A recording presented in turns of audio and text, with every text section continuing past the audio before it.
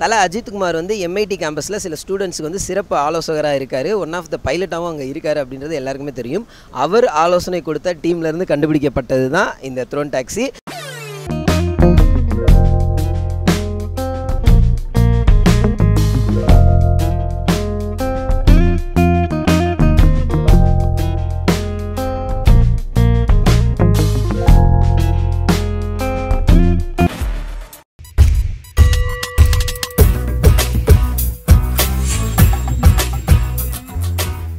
நேர்கள் அனைவருக்கும் ருஷ்டனியூஸின் அன்பான வணக்கங்கள். ஒரு இடத்துலேருந்து இன்னொரு இடத்துக்கு ட்ராவல் பண்ணுறதுக்கு இப்போ வரைக்கும் நம்ம ஊபர் ஓலா போன்ற டாக்ஸிலாம் யூஸ் பண்ணிகிட்ருக்கோம் அதெல்லாம் ரோட் டாக்ஸி தாங்க. இப்போ நம்ம பார்க்க போகிறது ஏர் டாக்ஸி பறந்து பறந்து போக போகிறோம் வாங்க அது என்ன அப்படின்றத டீட்டெயிலாக பார்க்கலாம். இதுதாங்க நம்ம தக்ஸா டீமோட த்ரோன் ஏர் டாக்ஸி பா பயங்கரமாக இருக்குங்க. என்ன கொஞ்சம் வெயில் தான் நிறையா இருக்குது ஏசி போட்டிருந்தாங்கன்னா நல்லாயிருக்கும் மேலும் இதை பற்றி என்ன ஏது அது யார் கண்டுபிடிச்சாங்க? இதில் என்னெல்லாம் மெத்தட் இருக்குது எல்லாத்தையும் இப்போ கேட்டு தெரிஞ்சுக்க போகிறோம் வாங்க. மேலும் இந்த த்ரோன் டாக்ஸியை பற்றி ஒரு சுவாரஸ்யமான தகவல் என்னென்னா சில மாதங்களுக்கு முன்னாடி நீங்கள் நியூஸ் பார்த்துருப்பீங்க சோஷியல் மீடியாஸில் பார்த்துருப்பீங்க. தலை அஜித்குமார் வந்து எம்ஐடி கேம்பஸில் சில ஸ்டூடெண்ட்ஸுக்கு வந்து சிறப்பு ஆலோசகராக இருக்கார். ஒன் ஆஃப் த பைலட்டாகவும் அங்கே இருக்கார் அப்படின்றது எல்லாருக்குமே தெரியும். அவர் ஆலோசனை கொடுத்த டீம்லேருந்து கண்டுபிடிக்கப்பட்டது தான் இந்த த்ரோன் டாக்ஸி ரசிகர்களுக்கு வந்து இது ரொம்ப ஆரவாரமான ஒரு நியூஸாக இருக்கும்னு நினைக்கிறேன். மேலும் இதை பற்றி நிறைய தகவல்களை கேட்டு தெரிஞ்சுக்க போகிறோம் mister Vasantharajan sir research scientist அவர்கிட்ட பேசலாம் வாங்க. சார் வணக்கம் சார். இங்கே இருக்குல்ல இது வந்து Daksha drone taxi Daksha drone taxi ரொம்ப எக்ஸைட்டடாக இருக்குது இதை பற்றி கேட்டோன்னே இதை பற்றின கொஞ்சம் டீட்டெயில்ஸ் ஃபஸ்ட்டு கொடுங்க. இதோட பேசிக் மாடல் எப்படி? இது வந்து பேட்ரி அந்த மாதிரி ஒர்க் ஆகுமா? இல்லை வந்து ஃபியூயல் அந்த மாதிரி யூஸ் பண்ணுவீங்களா? என்ன டிசைன் இது? இந்த ட்ரோன் டாக்ஸி அப்படின்றது நாங்கள் டீம் தக்ஷா அப்படிங்கிற டீம் டெவலப் பண்ணியிருக்கோம். Centre for aerospace ரிசர்ச்லேருந்து under the guidance of doctor Senthilkumar and doctor Thamarai Selvi இந்த ட்ரோன் டாக்ஸி அதோட வெயிட் மட்டும் எடுத்துக்கிட்டிங்கன்னா அறுபது கேஜி இது 90 கேஜி வெயிட்டை தூக்கக்கூடிய ஒரு ட்ரோன் டாக்ஸி ஒரு சிங்கிள் சீட்டராக டிசைன் பண்ணியிருக்கோம். இதோட ஃபியூ ஃபியூயல் சிஸ்டம் பார்த்தீங்கன்னா ஹைப்ரிட் கேசலின் அதாவது onboard generator for four கேவியே generate பண்ணுற ஒரு ஜெனரேட்டர் இருக்கும். அந்த ஜெனரேட்டர்லேருந்து ஜெனரேட் பண்ணுற பவர் இந்த மோட்டர்ஸை ப்ரொப்பல் பண்ணுறதுக்காக யூஸ் பண்ணுறோம் இது பிஎல்டிசி மோட்டர் அண்ட் இந்த ட்ரோன் டாக்ஸியை எதற்காக உருவாக்கியிருக்கோம் அப்படின்னா இதை வந்து ஒரு ட்ரோன் ஆம்புலன்ஸாக இனிஷியலாக யூஸ் பண்ணலாம் அப்படிங்கிறதுக்காக உருவாக்கியிருக்கோம். மக்கள் ட்ராவல் பண்ணுறதெல்லாம் கிடையாது? நான் டாக்ஸினோடே ஓகே ஃப்யூச்சரில் ஏதோ சர்வீஸ்லாம் வரப்போகுது போல் அப்படின்னு நினச்சிட்டோம். இமீடியட்டாக இது ட்ரோன் ஆம்புலன்ஸாக இன்ட்ரடியூஸ் பண்ணிவிட்டு ஃப்யூச்சரில் எல்லா மக்களும் யூஸ் பண்ணுற மாதிரியான டாக்ஸியாக அது மாறும். முதல் முதல்ல கார் வந்து உருவானப்போ அந்த காரை டிஃபென்ஸுக்கு ஒரு டிஃபென்ஸ் பர்பஸ்க்காக தான் யூஸ் பண்ண ஆரம்பித்தாங்க அதுக்கப்புறம் ஆம்புலன்ஸாக தான் ஃபஸ்ட்டு யூஸ் பண்ண ஆரம்பித்தாங்க அதுக்கப்புறம் தான் அது காராக எவால்வ் ஆச்சு. அதேமாரி தான் இந்த சிஸ்டமும் இமீடியட்டாக சொசைட்டிக்கு எதை அட்ரஸ் பண்ணணுமோ அதை அட்ரஸ் பண்ணிவிட்டு அதுக்கப்புறம் நம்மளோட லக்ஸரி நீட்ஸ் எல்லாம் அட்ரஸ் பண்ணலான்னு சொல்லிட்டு. இப்போ இங்கே நம்ம பார்க்கக்கூடிய இந்த டிசைன் மாடல் இருக்குல்ல இதுதான் ஃபைனல் வெர்ஷனா இல்லை இதில் இன்னும் அப்டேட் ஆகுமா? இல்லை இது ஸ்டார்டிங் ஸ்டேஜா எந்த ஸ்டேஜில் இருக்குது இப்போ இந்த வெர்ஷன் இது வந்து வெர்ஷன் ஒன் சிங்கிள் சீட்டராக டிசைன் பண்ணியிருக்கோம். வித் 90 கேஜி ஆஃப் பேலோட் இது வந்து ஒன் டுவெண்ட்டி கேஜிக்கு சிங்கிள் சீட்டர் இன்னொன்று செய்கிறோம் ஏன்னா எல்லாருமே இப்போ நூறு கிலோக்கு மேலே போயிட்டோம்.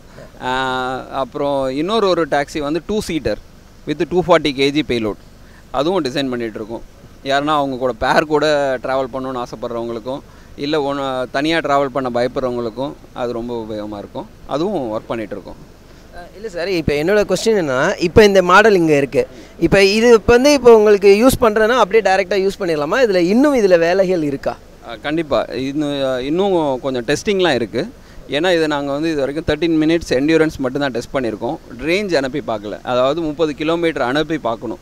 அந்த முப்பது கிலோமீட்டர் அனுப்பி பார்க்கறதுக்கான டெஸ்ட் ஃபெசிலிட்டிஸ் ஒரு ஒரு இடம் வேணும் இல்லையா? அது வந்து தமிழ்நாடு கவர்மெண்ட் ஆல்ரெடியாக வந்து பேப்பர் ஒர்க் எல்லாம் முடிச்சிட்டாங்க. It is going to be allotted to centre for aerospace research ஒரு டூ ஹண்ட்ரட் ஏக்கர்ஸ் தராங்க. அப்புறம் சென்ட்ரல் கவர்மெண்ட்டை நாங்கள் வந்து ஃபண்டும் அப்ரோச் பண்ணியிருக்கோம். இதோட இனிஷியல் ப்ரோட்டோடைப் டிசைனுக்கான மேனுஃபேக்சரிங் ஃபெசிலிட்டி அதுவும் சென்ட்ரல் கவர்மெண்ட்டில் இருக்குது சார் இப்போ இது வந்து தமிழ்நாட்டில் தான் கொண்டு வர போகிறதா சொல்லிகிட்டு இருக்கீங்க. நம்ம தமிழ்நாட்டில் இருக்கக்கூடிய ரோட் கண்டிஷன் இப்போ வெதர் எப்படி இருக்கும்? சில சமயம் பார்த்தீங்கன்னா வெயில் இப்போலாம் பார்த்தீங்கன்னா பயங்கரமாக அடிக்குது. டக்குன்னு பார்த்தா பயங்கர வெள்ளம்லாம் வந்துட்டு இருக்கு சென்னையில்.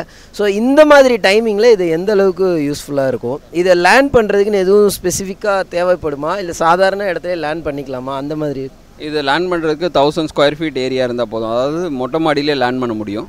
ஸோ மோஸ்ட் ஆஃப் த ஹாஸ்பிட்டல்ஸில் அந்த இடம் இருக்குது இன்றைக்கி அது இதுக்கான லேண்ட் பண்ணுறதுக்கான லொக்கேஷன்ஸை நம்ம நிறைய இடத்துல பார்க்க முடியும். நான் பெரிய பில்டிங்ஸோட டெரஸ்லேயே இறக்கிக்கலாம். அண்ட் ரோட் கண்டிஷன் பிரச்சனை கிடையாது. ஏன்னா இது பறக்க போகுது. And weather condition of course it takes the data from satellite இன்றைக்கி மழை வருமா வராதா நெக்ஸ்ட் எப்படி இருக்கும்னு சொல்லிட்டு பார்க்கும். அண்ட் எமர்ஜென்சி இன்கேஸ் எதனா ஒரு ட்ரிஸ்லிங் ஆச்சுன்னா ஃபோர்காஸ்ட் பண்ண வெதர்லேயும் ப்ராப்ளம் இருக்குது அப்படின்னா எமர்ஜென்சி லேண்டிங் ஆகிறதுக்கு நிறைய லொக்கேஷன்ஸை ஷேர் பண்ணி கொடுத்துருப்போம் அதில். இது வந்து ஒன்லி டே டைமில் மட்டும்தானா? இல்லை நைட்லேயும் யூஸ் பண்ண முடியுங்களா? அது எந்த மாதிரி? பறக்கும்.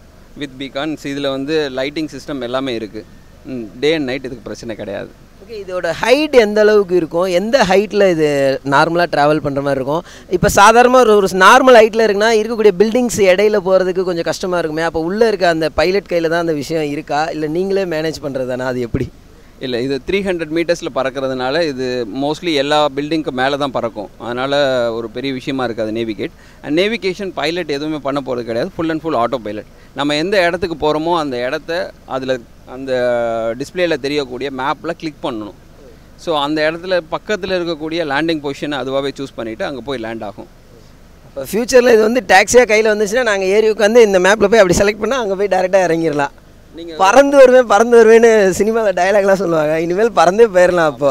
டிராஃபிக்லேருந்து தப்பிச்சிடலான்றீங்க. ஏன்னா இன்னைக்கு காலைல இங்கே வர்றதுக்கே மண்டை காஞ்சி போச்சு சார் இது போன்ற மேலும் பல கண்டுபிடிப்புகளை வந்து நீங்கள் கண்டுபிடிக்கணும். இந்த சர்வீஸை சீக்கிரமாக நம்ம தமிழக மக்களுக்கு கொண்டு வாங்க. நாங்களாம் சீக்கிரம் போக வேண்டிய இடத்துக்கு பறந்து போகணும் அப்படின்னு சொல்லி உங்கள் ஆவலாக வெயிட் பண்ணிகிட்டு இருக்கோம்.